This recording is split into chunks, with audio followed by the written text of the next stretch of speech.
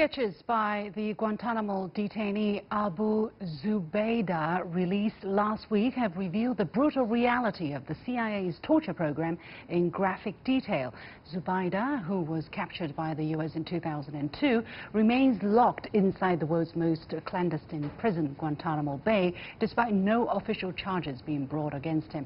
The sketches released by his lawyer, Professor Mark Denbeaux, depict his client being waterboarded tied up naked and having his head smashed against a wall, among other things.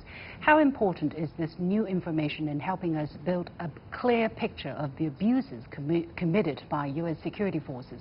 Joining me to discuss this are Gregory K. Tanaka, an American scholar and writer, and Yan Shuai, Associate Professor of Organized Crime Studies at the China Institute of Contemporary International Relations. Gentlemen, welcome to the point. So a little bit of background. As I said, he, Mr uh, Zubaydah. He was captured in Pakistan in 2002, where then he was taken to Thailand, where he was tortured. And according to the New York Times, who published these drawings first, he was subjected to various forms of torture, torture during the four years he was held in secret prison by the CIA.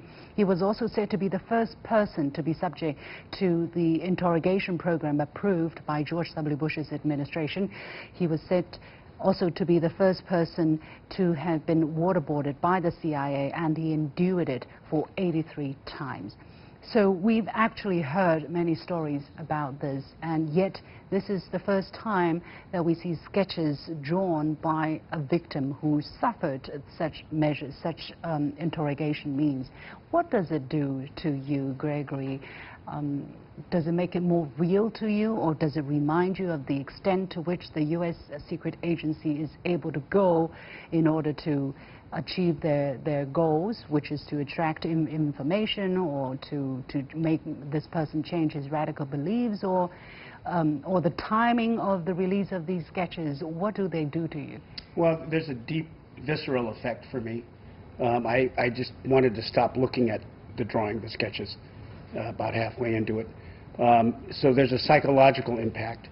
Uh, I think the larger issue going on here is uh, is, a, is an attempt to dehumanize the enemy and to have that process carried out out in the field and e even in secret uh, in places where there's rendition and they're taken somewhere else. And so I think that's kind of what is playing out. There's a kind of a, uh, an appeal to fear among U.S. troops and among American citizens and um, I would guess also uh, uh, there's a little bit of racism slipping in there. What do you mean by racism there? Well, um, when we had World War II, we had the Geneva Convention because the Europeans, the Germans fighting the U.S. and, and England, were required to treat prisoners a little better and not, so, not, not such a harsh fashion. This is not applying here at all. And so one can just look at the two situations side by side and see that there's, there's just a vast mm. difference. Mm. Um, I kind of see that, uh, at least at first blush, as, as, as a racial difference right off the bat. Okay. Uh, maybe there is the rationale as well because these people are terrorists or believed to be terrorist suspects, so they don't deserve the kind of treatment yes. that a normal prisoner of war yes would or normal prisoner yes. would deserve. Um, does that kind of rationale hold water for you? I think that's the rationale presented. It does not hold water for me, but I think that's the one that was used, and mm. it's uh, somehow was was sort of foisted on the American public and also on American troops, all part of the campaign to promote fear, I believe, toward mm. this this enemy. Um, Professor Yan Shuai, what is your take on seeing these, uh, these pictures? As I said, we already understand, uh, actually since a long time, that the U.S. CIA has been employing, uh, deploying these measures, and of course there have been condemnation, but now these sketches coming out from a person who suffered torture, such measures, what does that do to you? And what does that help um, your understanding of the situation of such programs? Yeah Abu Zubaydah was uh, tortured due to his uh, suspected involvement in the 9/11 terrorist attacks, but until now, he was not charged or tried in, in the court. And when I see the see the illustrations by Abu Zubaydah, it, it's still quite uh, shocking to me. Although sporadically there are some information released to the public, uh, concerned about the CIA or other intelligence scandals uh, related to the detainees. Uh, but uh, this, I think this is only a uh, tip of the iceberg. Maybe the reality is more shocking and more unacceptable to the general public. And although U.S. started the, the program with the excuse of counterterrorism, but I think this goes too far. And I, I, don't think this program is uh, effective in, in, in, combating terrorism. And uh, actually, for the past around 20 years, U.S. has failed its global war on terror. But there are actually people who leave, leave comments under the article who says, um, I'm sorry, when I'm not going to feel sorry for someone who plotted to hurt American people or basically anybody because these are people who are supposed to be terrorists, so they're not feeling sorry for that person.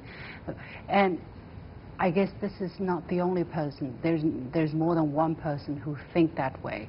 What does that say? Actually, there are a lot of people who are, who are probably feeling that way, you know, because these people are suspected terrorists, so you can do whatever to them. Yeah, I think the... What does that say about some people's mentality there? Um, I think this is not just uh, the consensus among the top officials of the military uh, and among the uh, CIA, among the U.S. intelligence uh, different agencies, they all want to uh, uh, use these techniques to get some information about the future terror attacks again, mm -hmm. against the U.S. Mm -hmm. So in this way, this is kind of a persuasion for the general public. The general public was hit by the 9/11 events, so they want, so they want the protection from the military, from the intelligence agencies. So the, I think the, the government, the White House, and the Defense uh, Department used this as an as a as an excuse to implement these inhumane uh, techniques. And uh, I think this U.S. Uh, never acknowledged this program existed, and they call this kind of torture as enhanced interrogation techniques. They, they don't see it as a torture. Well, um, Gina Haspel, the, the, current head of the CIA, is known to have been an active participant in the torture regime which flourished in the wake of the 9-11, and she has also vowed that she will never restart such a program, even if instructed to do so by the president. Um, uh, Gregory, can you understand that someone who has actually been you know, at least condoning such a program is actually promoted to a very high position in the U.S. government? Uh, my interpretation of that is that there are uh, large forces at play underneath the surface in the U.S. government. Um, some of them are tied to what has been referred to before as the military-industrial complex, or the, the secret, you know, the CIA and other agencies like that. Um, this can easily give rise to conspiracy theories, interpretations like that.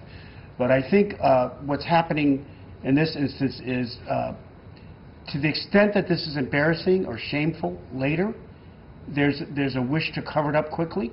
And by promoting one of the proponents of this, there is, I believe, the attempt to help cover it up by saying, well, it wasn't that big a problem, and we were under duress at the time. Um, for example, I'll give you, uh, there are two other examples. Uh, I think it's Professor John Yoo at UC Berkeley was given that post after writing the documents uh, in, in, defense of, of, torture. And I think the person who is currently the president of the University of California was also shipped over to that, that top position in academia um, as after leaving uh, the CIA. I believe she was National Defense hmm. What does leader. that say? How come, uh, you know, the, the American society, a society which treasures itself, which uh, prides itself on such things as human rights, you know, these universal values, uh, can accept something like this? And, and the people who actually, you know, is partici active participant part of the regime can actually, you know, uh, be promoted? I will say I think the American, it's starting to wear thin. The American public is starting to get bothered by all of these ideas and notions being foisted upon them. Um, there's, there's a growing disenchantment with these stories, these narratives from the government about war and terror And I think the public is getting, uh, getting to the point where it's not, just not going to accept it anymore. Uh, President Trump is stuck in the middle. He's between the military-industrial complex and the people who don't really want war. And so he's stuck in between. Um, President Trump actually signed last year an executive order to keep Guantanamo Bay open and also boasted that he wanted it uh, he wanted to load it up with some bad dudes. He also said, I'm asking Congress to ensure that uh, in fight against ISIS and Al-Qaeda, we continue to have all necessary power to detain terrorists whenever we chase them down, wherever we find them, and in many cases for them, it will now be Guantanamo Bay. So is this just a bad apple, or do you think this mentality is still rife throughout the government uh, in the United States? Mm, I, First, I want to add one point uh, to your uh, previous question. Actually, I, I don't uh, quite doubt about the Haspel's statement on the restart things. Actually, maybe the U.S. Uh, intelligence agencies still they are continuing its uh, torture uh, program right now. They never stopped it, I think. And as you know, the, the CIA seems to have a culture of lying because the, the previous uh, CIA director, Mike Pompeo, just uh, publicly said in this April that when he was in CIA, they were uh, they lied, they cheated, they, they stole. So I, I think this, the U.S. Is, is still secretly implementing the, the torture program. And uh, uh, uh, um, about the Guantanamo Bay, and the, the U.S. Uh, White House, I think the will maybe will use it to uh, to hold the uh, American jihadists returning from the Syria and Iraq because the, the White House and and other European countries are are hoping to find some places to to keep these dangerous terrorists. Mm. Are such actions in uh, extenuating circumstances circumstances ever permissible, Gregory? I don't think so myself. I think it's, it's abhorrent behavior uh, to resort to that. Uh, on the other hand, that was, that was the rationale offered to the American public, which kind of reluctantly, I suppose, uh, accepted it. And now we're in this position of trying to look backwards at what happened back then and what we've inherited today. Um, I do want to point out that Guantanamo Bay received a huge injection of funding to upgrade the facilities recently. So there's, there's, they're preparing for something. And it's, uh, it may not all be terrorists. It may be related to this, this sort of impeachment slash uh, accusations of, of treason. Both sides, the Democrats and Republicans, are really going at it right now. I would venture to say it's approaching constitutional crisis in the United States. And so that may be one of the reasons why Guantanamo Bay is still being kept open. All right, we're going to leave it there. Many thanks to Gregory Tanaka, uh, an American author and writer, and uh, scholar and writer, and Yan Shuai from the China Institute of Contemporary International Relations.